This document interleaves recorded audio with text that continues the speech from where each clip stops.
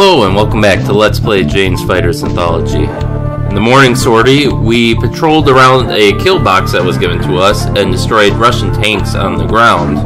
No ceasefire has been signed yet though, so let's see what they have us do for our afternoon sortie. Most of the Russian army appears to be in full retreat. No truce has been called, so we're gonna suck it to Ivan till he's begging us to stop. I'm assigning you a new kill box to patrol. Any and all Russian vehicles are fair targets. Go to it. Excuse me. Alright, Killbox, USS Eisenhower CVN 69. Date June 3rd, local time 1800 hours. Weather clear. Situation Russian tanks are pulling out and clogging the motorways. No formal truce has been established, though all targets are fair game. Mission objective patrol your sector and destroy vehicles with impunity. Order of battle recommended aircraft F 22N, recommended weapons AGM 84E. Threat suppression data ground opposition probable 2S6s, ZSU 57s, air opposition unknown.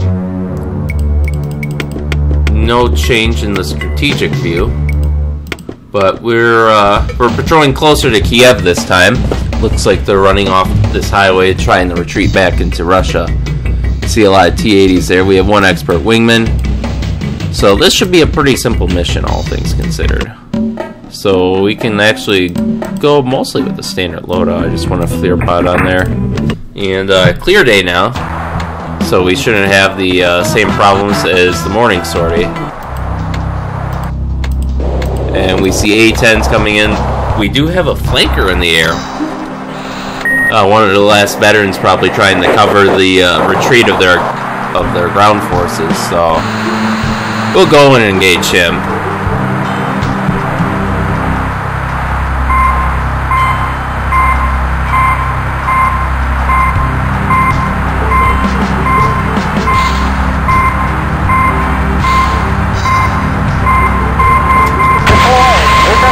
Drop down.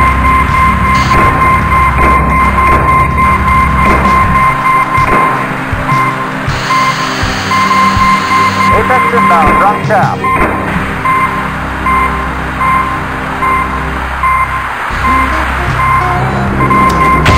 And our missile missed, unfortunately.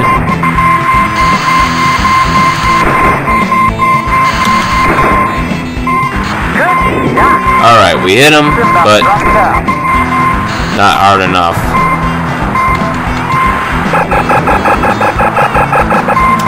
A shot.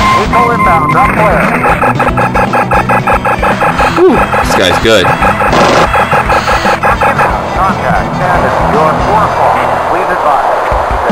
Sorry, Wingman. This one's mine. Now.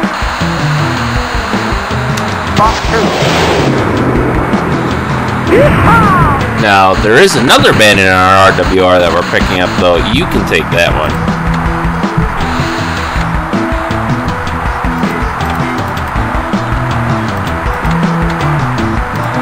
There we go.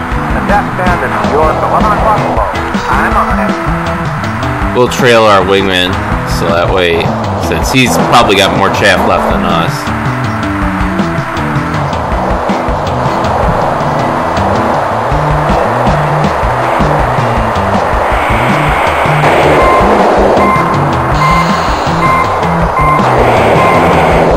And we're gonna go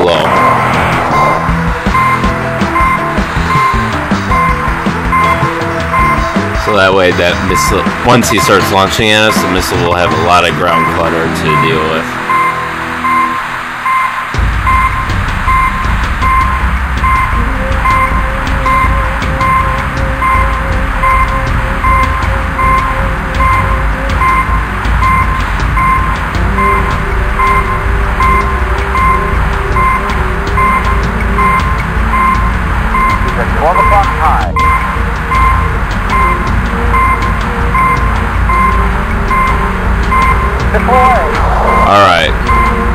Hopefully that'll distract them from us. Apex inbound, drop tap.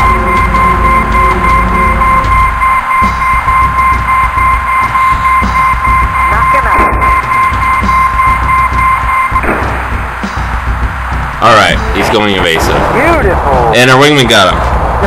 Perfect. So let's go back to the uh, start of our sweep. Bravo, bearing 294. Descend to Angel 1. Contact your 12 o'clock flow. 17 Uh, we can see the uh, the U.S. line here. Uh, some these must be the Poles and the Free Ukrainian Army. And here we see the scattered Russian forces in retreat. So.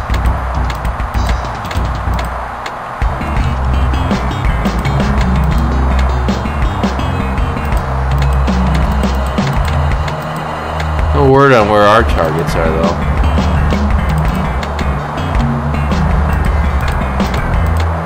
Contact SAM, you're 12 o'clock. 7 miles. Please advise. Attack tank. Attack tank.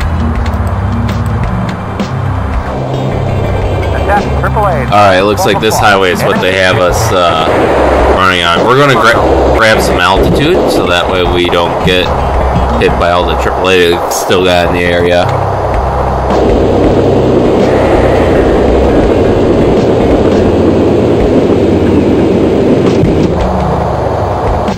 See the JSTARS up there.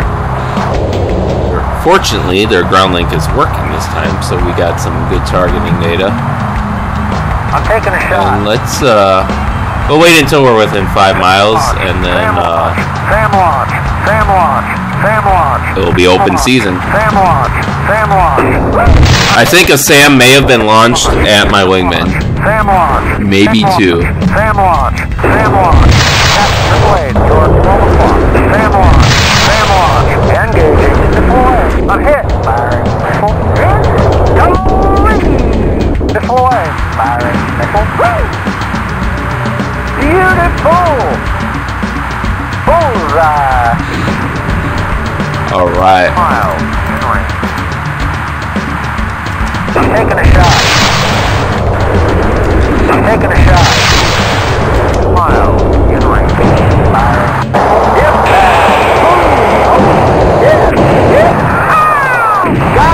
So very easy mission. Inbound. Waypoint Charlie. Bearing 9. We didn't even take damage that time. So we'll let the A10s continue their patrol of their sector and we're gonna get out of here. Ooh. We do see uh enemy radar pings. They're staying about 25 miles behind us for now, so I'm not gonna worry too much about them. It doesn't look like they're pursuing us, and we're gaining distance, so. so, that was a quick and easy one. And I have what I believe should be my last uh, weapon overview, overview here. The AGM-65 Maverick. Tactical air-to-ground missile made by Hughes from 19 or it was developed in uh, night between 1966 and 1972, and entered service with the United States Air Force in 1972. It's the most widely produced precision-guided missile in the Western world. Uh, it shares the same general airframe as the AIM-4 Falcon and the AIM-54 Phoenix. Uh, 1965, the United States Air Force started a program to replace the AGM-12 Bullpup. In with the Bullpup, the launching aircraft had to fly straight while guiding the weapon, and it had a small warhead, so it was ineffective against targets, and it left the launching aircraft vulnerable if they wanted to guide it. So in 1968, Hughes was awarded a contract to develop the Maverick over Rockwell with an option for up to 17,000 missiles. Early results were good, but planners predicted problems in the hazy parts of Europe. So the AGM 65B was developed, and in total, 35,000 A and B Mavericks were made before production ended in 1978. The AGM 65C shifted development in 1978 by Rockwell, or shifted to started development in 1978 by Rockwell and entered service with the United States Marine Corps eventually as the AGM 65E. Now, whereas the A had an electrical optical guidance system, the B model had a TV guidance system, I believe. Um, the C model, and the E model were laser guided, so they needed a laser designator to uh, to point them in the right direction. Now, the AGM-65D started development in 1977 with deliveries to the Air Force starting in October of 1983, and it used an imaging infrared seeker. I believe that's what the game, or no, that's close to what the game has us using, I think, but not quite. Although it, it is worth noticing, noting that I think for the most part the Navy used only between the Navy and the Marines, they only used the F and uh, E variants, at least in this time period.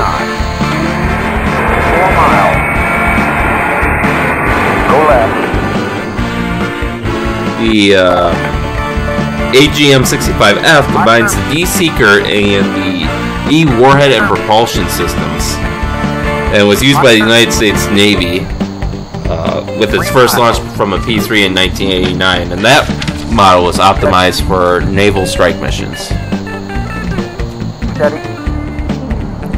The, and then Hughes made the AGM-65G, which has the D guidance, a shape charge warhead, and software improvements. Lower.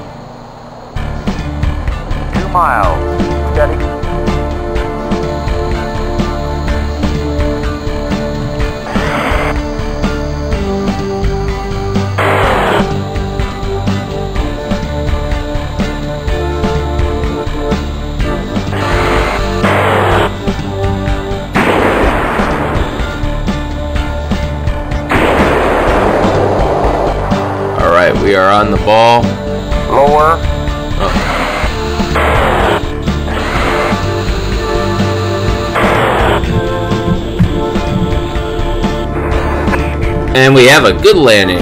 Third wire, ladies and gentlemen. Or the second wire. So we'll go park that. Now, the most modern version of the Maverick is the AGM-65H and K. Now, the H takes the B Maverick and uses a charge-coupled device seeker for improved performance in desert environments. And the J is the designation for F Mavericks modified to be H Mavericks. And then you have the K, which uses the AGM 65G, but with an electro optical guidance system.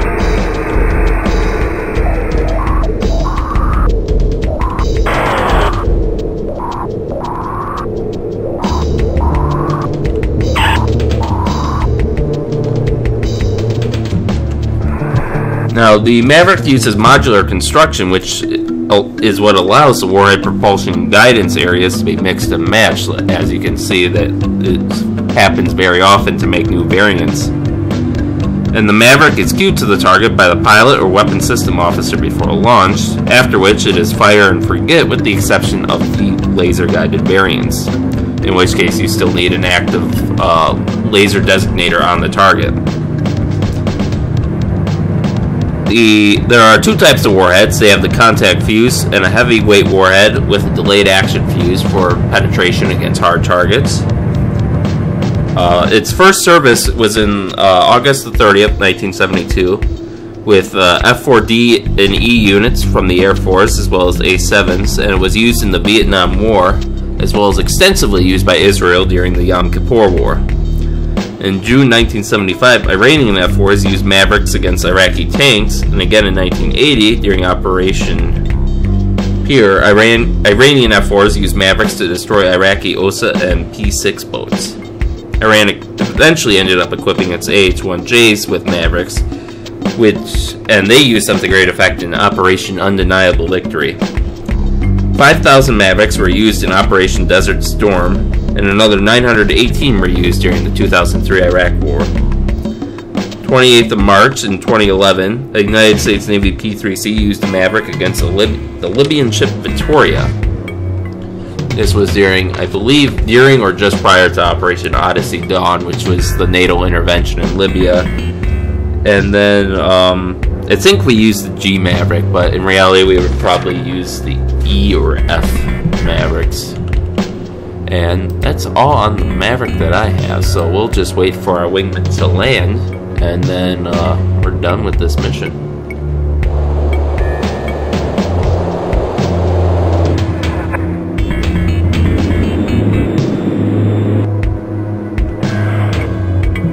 Alright. Debrief USS Eisenhower CVN 69. Date June 3rd, mission Killbox. Resolution success. You cleaned up those ground targets despite some desperate resistance from the bad guys. Oh. I suppose those last two flankers do count as desperate resistance. Mission outcome success. We destroyed the nine targets. Elapsed time 43 minutes. Uh, we were alive with 100% landing grade and no damage. Our wingman's alive. He took 34% damage and a 46% landing grade. We each got a flanker kill. We destroyed two SAMs and five tanks. Our wingman destroyed two AAAs. Russian troops continue to fall back as coalition units advance to the outskirts of Kiev. The Kremlin remains ominously silent on the possibility of a general ceasefire, causing increased worry that the Russians may be planning to use tactical nuclear warheads. Man, I hate to even hear the word nuclear. You're telling me. There's no countermeasure for a nuke. You get caught in one of those and you're a poodle in a microwave. Or all of a sudden your electronics get fried and suddenly you're in a fundamentally unstable aircraft. Then it's only seconds before you're tied for the world's lowest altitude record. Alright, that would be, uh, I don't know how the game managed to get two soundtracks playing at once. That's a little odd, but, uh, that's it for today's sorties, so hopefully in our next mission we don't see him using any nukes, and with that, that ends today, so we'll see you tomorrow.